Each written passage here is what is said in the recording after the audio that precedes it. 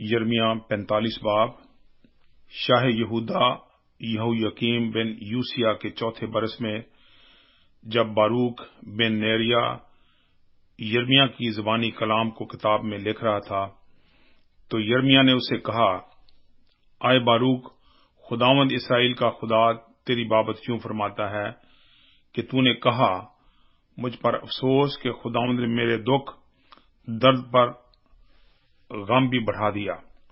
میں کراہتے کراہتے تھک گیا اور مجھے آرام نہ ملا۔ تو اس سے یوں کہنا کہ خداوند فرماتا ہے، دیکھ اس تمام ملک میں جو کچھ میں نے بنایا گرا دوں گا اور جو کچھ میں نے لگایا اکھاڑ پھینکوں گا۔ اور کیا تو اپنے لیے امور عظیم کی تلاش میں ہے؟